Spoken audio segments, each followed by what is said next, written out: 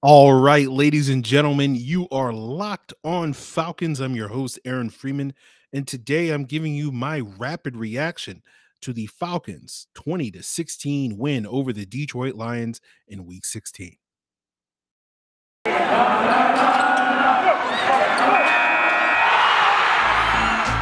You are Locked On Falcons, your daily Atlanta Falcons podcast part of the Locked On Podcast Network. Your team every day.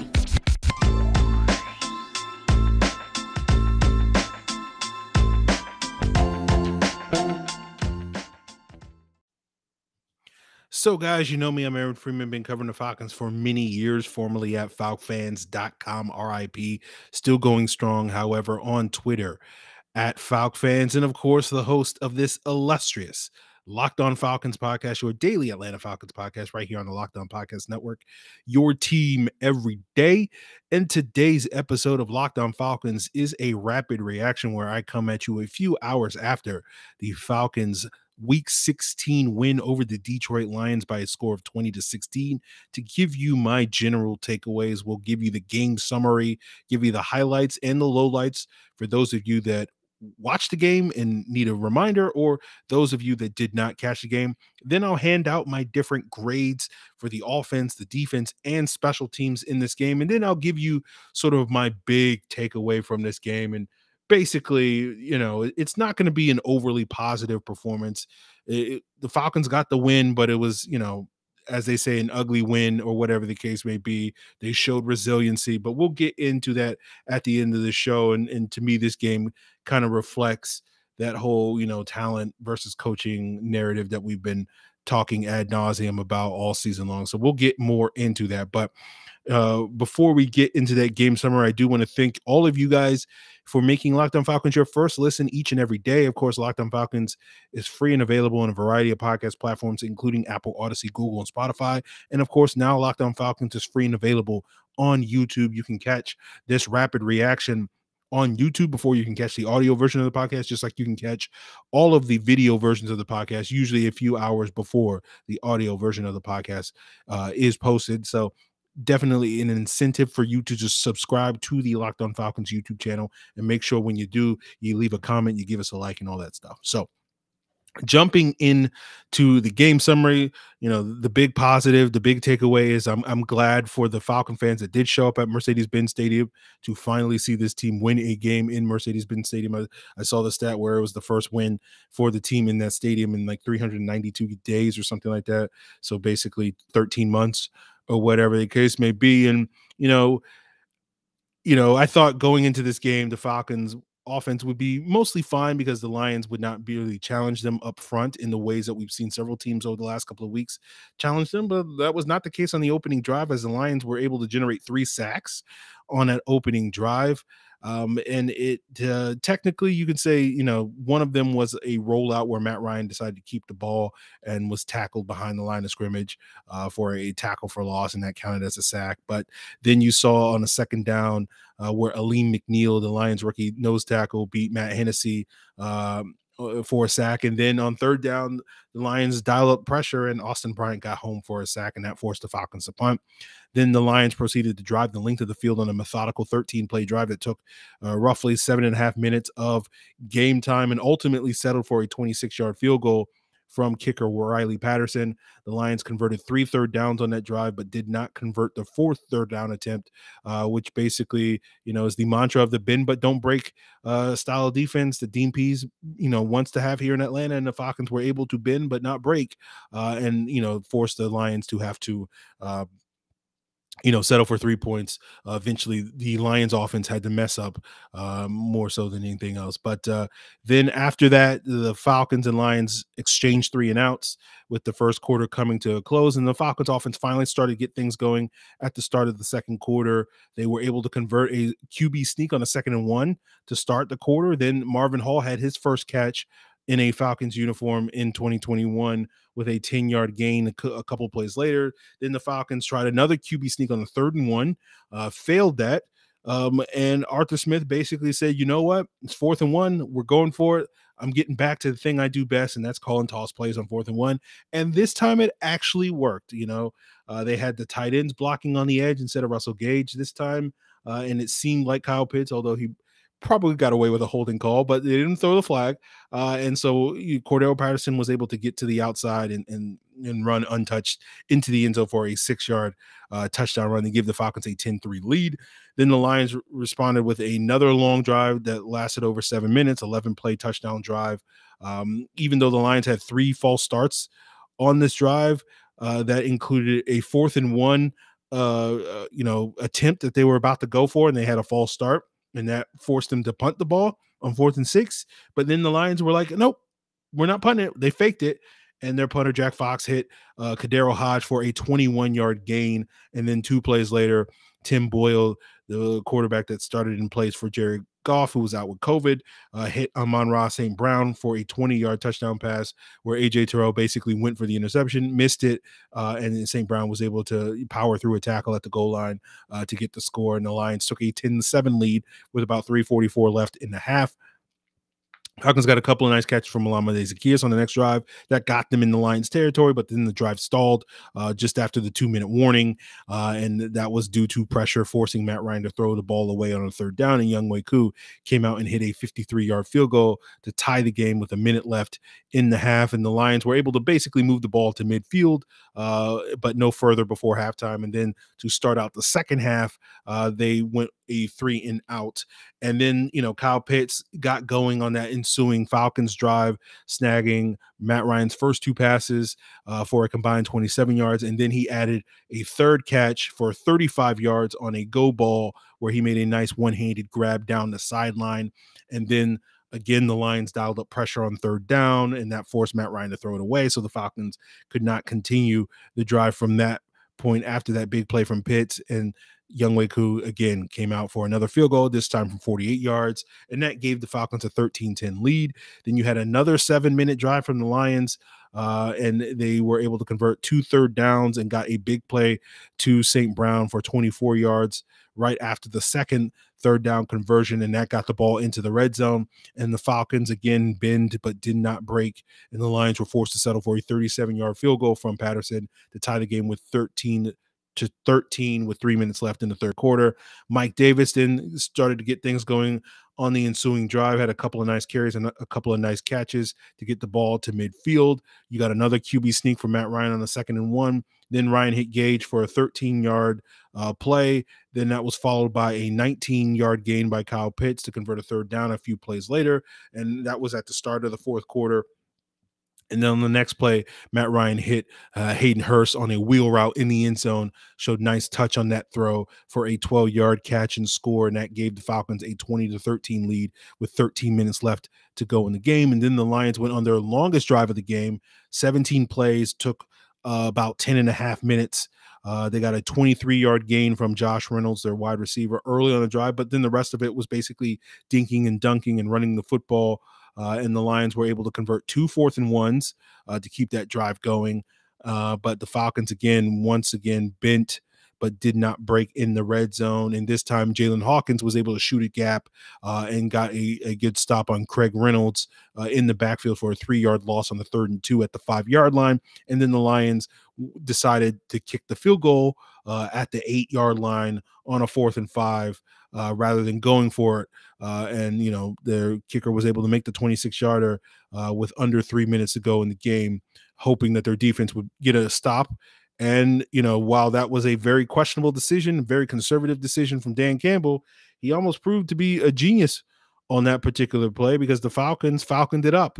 Uh, and we've seen this team blow lead, several leads this season. Um, we've seen this team get very conservative after they blow those leads, and it has not led to much positives. We've seen this team be aggressive when they blow those leads in the fourth quarter when they need to go down the field and, make sure they score. Um, and that's been better for this team. So, what does Arthur Smith do? He decides I'm going to be conservative again.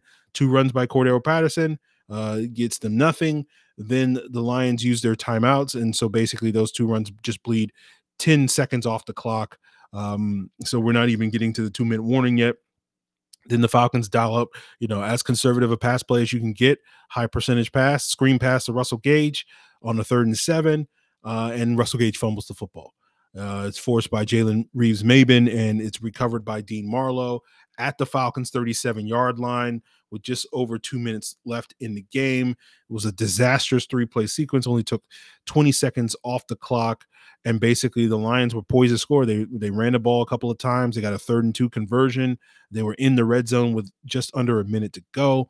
Then they got an eight yard pass to a backup wide receiver, and that got them down to the eight yard line. And then Tim Boyle, Tim boiled uh, and telegraphed the throw over the middle to Kalif Raymond. Uh, Foye Oluokun, who had a team high 14 tackles and looked good throughout the day, uh, read the quarterback's eyes and, and jumped the throwing lane, picked it off at the one yard line, returned it a couple of yards before he, he slid down. And the Falcons, basically, with the Lions out of timeouts, were able to go into victory formation with 33 seconds left on the clock and walked away with a win. So it wasn't a particularly pretty performance for the Falcons. You could certainly make the argument that the Falcons played down to the Lions level. I'm sure plenty of people will sit here and say, you know, the talent disparity between the Falcons and Lions is pretty non-existent. And so this wasn't the Falcons playing down you know my official opinion and we'll get into later on the episode is that i definitely think the falcons played down to the lions level uh, and we'll talk about why people continue to be married to this talent deficient narrative when i think today's game clearly shows uh, that that was not the case. But you know as we continue today's episode we'll get into the game grades right and uh, I'll talk about you know the different phases of the game, the offense, the defense, and special teams, and give out grades. And they're not going to be overly positive, but we'll get into that as we uh, continue today's Locked On Falcons episode. But before we get there, guys, it is the holiday season. The New Year's is right around the corner, and I know many of you are making those New Year's resolutions to eat healthier and, and do all the things to start your healthy lifestyle. And the best way to get that started is with Built Bar, the best tasting protein bar on the market. If you want to have something that is both delicious and healthy, Built Bars are perfect for you. They're rich with decadent flavor. They're covered in chocolate. They taste just like a candy bar, if not better than a candy bar. They come in a variety of flavors, so many flavors that it's hard to choose. If you want holiday themed flavors, you got candy cane brownie bites, gingerbread eggnog, all available right now. You got other limited time flavors like coconut brownie chunk, which was voted the best Built Bar flavor back in March. Uh, and you also got the tried and true flavors like coconut almond peanut butter brownie, cherry barcia, double chocolate, and so much more. Go choose your own, build your own box by going to built.com. And when you do use the promo code LOCKED15, and you'll get 15% off your order. That's LOCKED15 for 15% off at built.com. So as we continue today's Locked On Falcons, giving out the game grades for the pass offense, rush offense, pass defense, rush defense, and special teams. Yeah, I'll be upfront with you guys. This is going to be probably the lowest graded uh, performance for the Falcons in a win so far this season. Um, and so, for, starting with the pass offense, I gave them a C felt like it was a pretty middling performance. I thought Matt Ryan was mostly efficient in this game. He, looked a little bit off the mark early in the game, but seemed to settle down a little bit there and, and was fine thereafter. You saw a nice game from Kyle Pitts, uh, had his first 100 yard day since week seven, finished with six catches for 102 yards. He passed Tony Gonzalez in terms of the single season record mark for most receiving yards for a tight end uh, for the Falcons. And obviously, now that he's at like 949 yards, a couple of yards away from a thousand yard season. Only the second time a rookie tight end has done that. And obviously he's, you know, like 127 ish or so yards away from Mike Ditka's single season mark of 1,076 yards that he did in a 14 game season. But Kyle Pitts is going to have a couple extra games and we'll have an opportunity to, to break that mark. So, uh, you know, a, a nice day for Kyle Pitts. It was a nice day for Russell Gage. You know, he had a bad drop and the fumble, obviously, were some negative plays, but other than that, did a decent job uh, making a couple plays. Of course, Marvin Hall, um, you know, was the the the reason why the Falcons were able to win. I'm, I'm kidding, of course. Uh, you know, unfortunately, he was underutilized. You did not see the Falcons pushing the ball down the field in this game like we saw last week, where they were taking shots down the field, and you wondered, hey, you know, instead of taking these shot plays um, to to some of the players that the Falcons have. What if they did that with Marvin Hall? You hope to see that. You know, outside of that one deep throw that Matt Ryan had to Kyle Pitts, he didn't attempt a single other pass that went more than 15 yards in the air. So the Falcons tended to be a little bit conservative. Probably some of that was owed to how the, the fact that they gave up three sacks on the opening drive. Other than that, it wasn't like that. That stat looks worse than it actually was. Um, but like you know, the Lions were able to get effective pressure a lot early in this game, particularly on third downs. It seemed like every time they dialed up pressure, they were able to, you know, have a negative impact on the Falcons' uh, offensive line. So uh, certainly, you know, maybe that was a reason why the Falcons were a little extra conservative because they did not have the confidence in their offensive line and their pass protection to hold up against what has been one of the worst pass rushes in the NFL, at least outside the state of Georgia. Uh, certainly, I think the Lions would take the cake for the worst pass rush that does not, uh, you know, participate on a team that plays their home games in the state of Georgia. Uh, so, you know, C grade for the pass offense.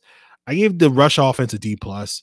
Um, it wasn't their worst performance of the game, but given that you know you've seen this running attack you know do well over the last month given that the lions have one of the weaker run defenses in the nfl it was very underwhelming the falcons finished with a success rate of 35% on 17 design runs which again 35% is not terrible we've seen worse performances this season where we've seen games where the falcons had like 18% success rate on like uh, a similar amount of runs or, or something like that but it just felt to me like they couldn't really get much going. You know, Patterson had that nice touchdown run.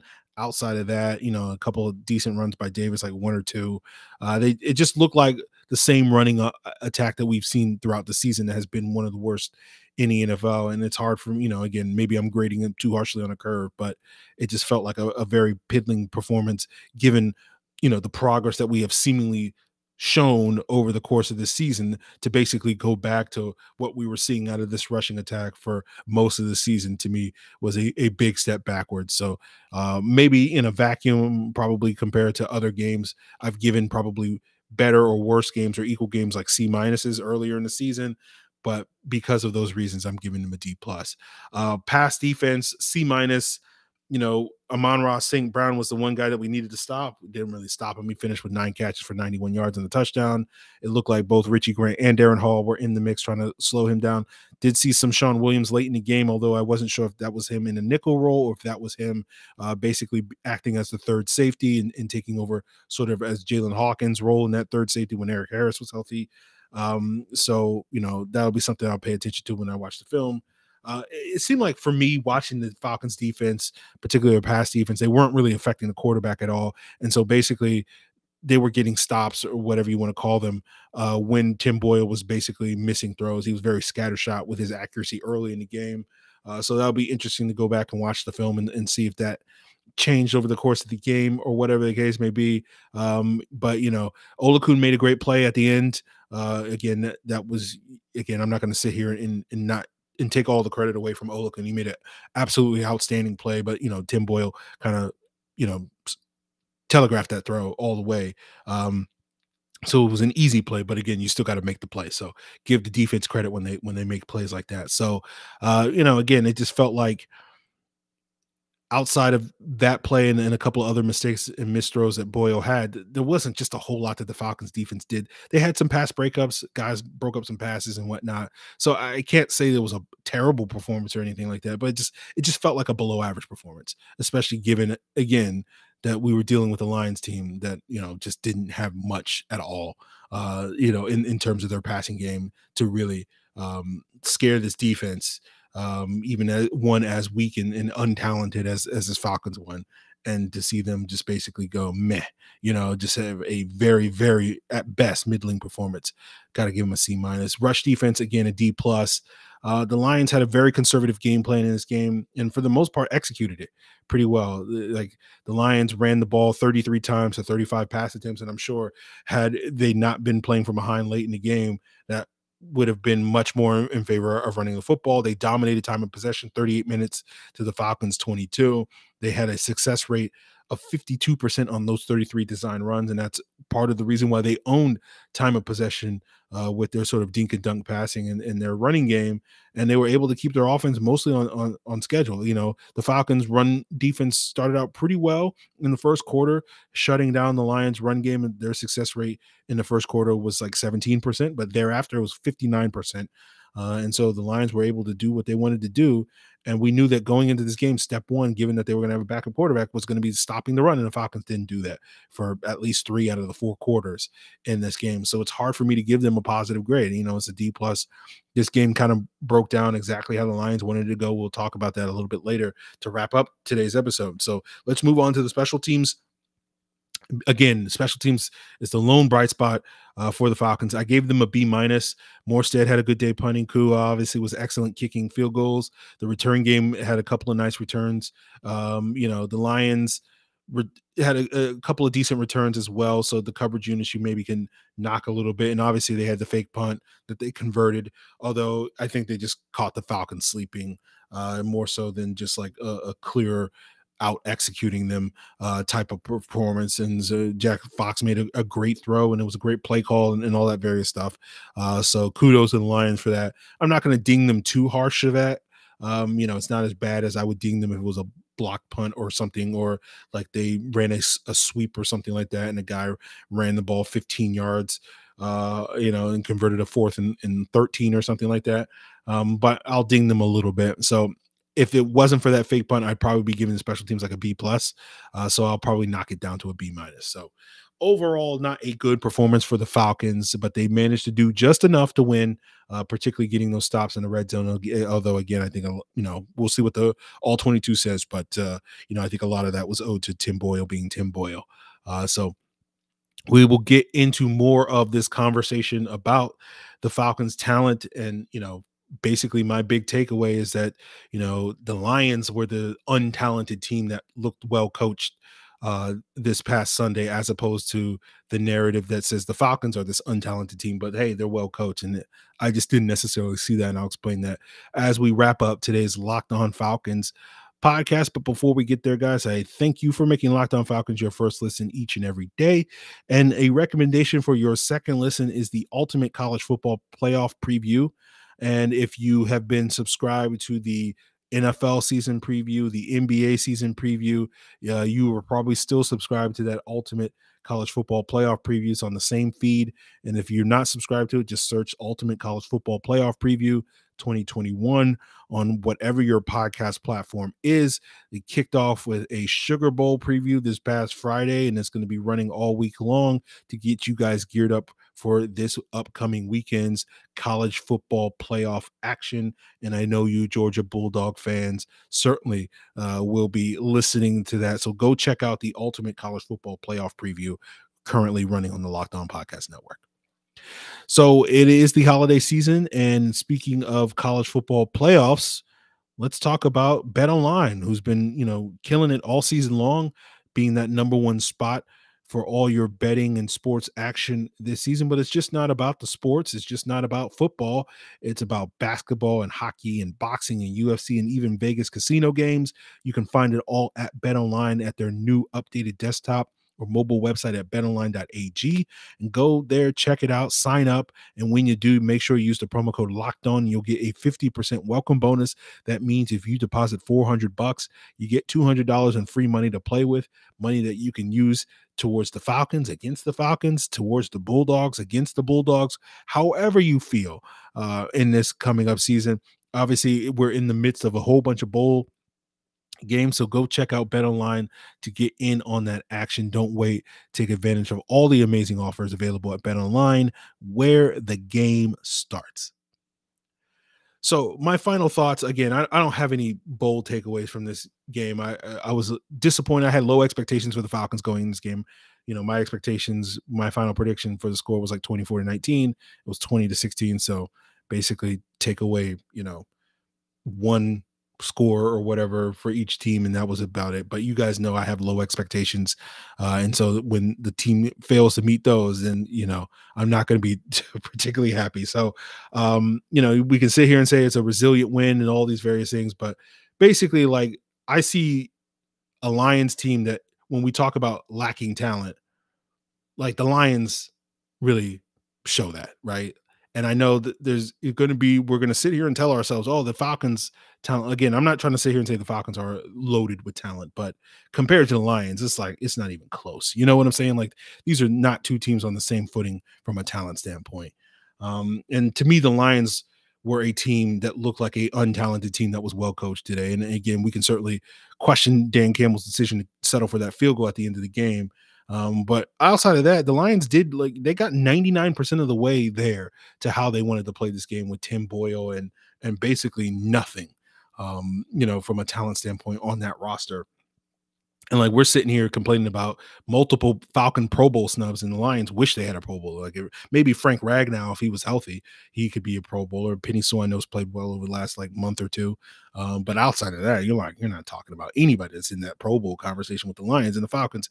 You know, had like half a dozen guys that people were making the argument for for a Pro Bowl spot or whatever the case may be. So like the talent level is not even close, you know. And so like again, I'm not trying to sit here and be like, oh, Arthur Smith's a terrible coach or anything like that. I just I just did not see a particularly well coached team. This to me is a, a, classic case of a team, like again, not a super talented team, but just played down to a much lower level of competition. You know, like just compare, like, you know, Tim Boyle, basically, it would be the equivalent of the Falcons starting Josh Rosen and, and, you know, nearly winning a game. They, again, as I said earlier, this game was exactly how the Lions drew it up and they got 99% of the way there. They were literally one yard away from winning this football game. Uh, if not for Foye Oluokun making uh, a spectacular play at the end of the game. So kudos to Foye Oluokun for making that great play. But, um, you know, it's hard for me to sit here and, and be like, "Hey, this is a well-coached f- football team." Like, look at, the, look at, you know, and, and, I'll, I'll just, you know, outside of the Tim Boyle-ness, um, I'll just use one example of the talent disparity that the Falcons have versus the Lions. Like, the Lions um, due to TJ Hockenson being out of the lineup, their starting tight end was Brock Wright. Brock Wright was an undrafted free agent uh, out of Notre Dame. He was a backup at Notre Dame. He had seven career catches at Notre Dame. It's basically like, you know, you guys remember Ryan Becker, who we picked up in this offseason, who was a blocking tight end at San Jose State, who had like four career catches. That's basically what the Lions were starting at tight end this year, at this week right? Their backup was a Division three undrafted free agent, right? You know, just pick any practice squad, you know, John Rainey or whatever the BYU guy, uh, or even the probably not again Division three versus BYU, and, and, like that's who the Fal- the Lions had at their two tight end spots. Meanwhile, the Falcons have Kyle Pitts and Hayden Hurst, two first round picks, and we're sitting here trying to pretend that oh yeah, the Falcons are this super untalented team. I'm just like, look, I, again, I'm not saying the Falcons are one of the most talent laden rosters, but like there is a big difference between um, you know, where the Lions are from a talent standpoint, and to me, where the Falcons are, and that's just one example uh, that that I'm using. But um, you know, it's just it's just disappointing um, to see the Falcons play as poorly as they did. You know, again, the lone bright spot we have is you know Kyle Pitts is on track to to have a historic rookie season or whatever the case may be potentially um, and and set a record today for the Falcons. Again, that's positive for Oluokun. Hey, great job for you uh, doing your thing. Special teams, you guys have been killing it over the last month. Outside of that, I just don't have a whole lot of positive to say. And again, I, I know it's a win, and I'm sure I'll I'll, I'll get some feedback uh, about. Again, I don't think the sky is falling by any means, guys. But I just came away from this game being like, oh, this team is bad, and it's not simply because they lack talent. It's just like they just do not play up at all. And like it's just it's so tiresome to me. And because this was a, a, regular complaint on the podcast that I had when Dan Quinn was here, um, and even to a lesser extent when Mike Smith was here, even though we weren't really podcasting that as much back then. But it was just like the opposing teams always are able to execute their game plan, and Falcons never execute their game plan. Like it never goes the way that the Falcons wanted to go. Right? It, every it, the opposing team no matter how bad they are, are going to be able to do the thing they want to do. And again, that's why I sit here and I say, like, yeah, man, Dan Campbell, again, did his thing. Cause like if you were going to draw up a play, okay, how how are we going to be in a position uh, to win this game at the at the very end? You would draw on it exactly how they drew it up, and they went out and there and did their thing. They were able to run the football. They were able to get stops on defense. You know, they did everything they wanted, they needed to do to have a chance to win this game. And the Falcons basically like let them do it. And like I, I look at that and I just go, okay, like, you know, I, I just really hope like obviously we're gonna need to see this talent level improve uh in the off season, obviously. Uh, again, as I've said many times, you know, they this team has holes and and and the potential to upgrade pretty much every position uh outside of kicker, punter and now long snapper thanks to Thomas Morstead. We'll see what happens with Morstead in the future. So they have basically every position that is not one of their specialists, they could upgrade on offense and defense. Um, so no one's sitting here arguing that this team is a talent laden team, but I just sit here and I, I really do hope this team becomes a much better coached football team than they have been throughout this season and, and particularly on Sunday. That's sort of my final thoughts on it. So not much else is to say. We'll have a guest come on tomorrow, Mike Rothstein of ESPN, give his thoughts. Maybe he has a much more positive, glowing outlook for this team. He covered not only the Lions, but now covers the Falcons, obviously. Uh, so we'll see what he has to say about it. I'm sure he'll have. Uh, look, I guess you can't get any more negative than I'm being. I'm just, it just, it's just so mediocre to me. Like you know, but it is what it is. Uh, we'll we'll leave it at that, guys.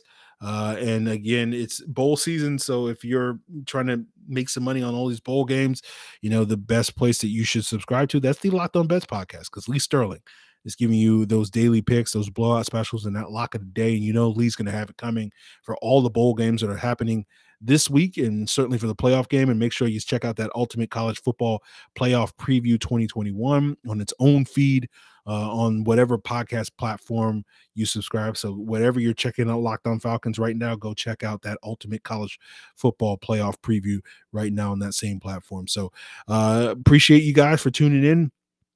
If you haven't subscribed already to Locked On Falcons, on YouTube. Make sure you do that if you want to provide your feedback and tell me why, Aaron, why you got to be so negative, or hey, Aaron, you didn't go hard enough. Uh, uh, you know, by all means, I'm I'm open to your feedback. Of course, you can leave a comment on Locked On Falcons YouTube. You can send an email to lockedonfalcons at mail.com. You can, of course, hit me up on social media such as Twitter and Facebook at Locked On Falcons as well. So, guys, I appreciate you for tuning in. I, I wish I had much more positive things to say about this team, but this to me was a very forgettable game and and what is probably going to ultimately be a pretty forgettable season for the Falcons. But hey, they're 7 and 8 and hey, you know, it's impossible. You you can't be a poorly coached team if you've won 7 games with this roster, right? You know, they just don't have any talent. But uh, you know, that's what we're going to tell ourselves. So, hey guys, appreciate it. Hope you had a great Christmas, and I hope you continue to have a great holiday week as we guys get you geared up for this upcoming week uh, with two more games left for this very forgettable Falcon season. Appreciate you guys. Till then.